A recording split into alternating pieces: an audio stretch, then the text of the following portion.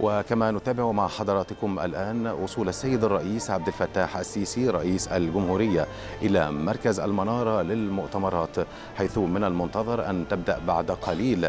فعاليات النسخة الرابعة من قادرون باختلاف.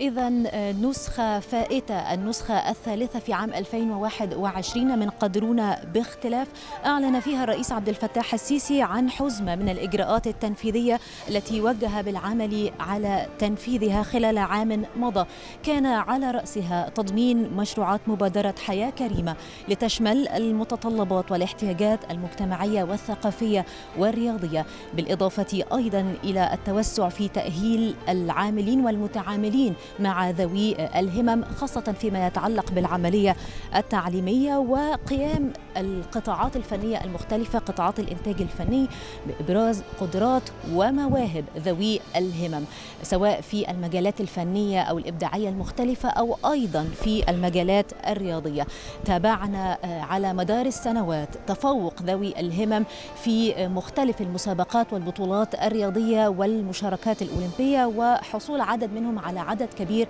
من الميداليات. إذا هي حزمة من القوانين التي يتم تفعيلها على أرض الواقع التي صدق السيد الرئيس عبد الفتاح السيسي عليها فيما يتعلق بقانون رقم 157 بتعديل مسمى قانون صندوق دعم ذوي الإعاقة ليكون قادرون باختلاف الذي يدعم 11 مليون شخص.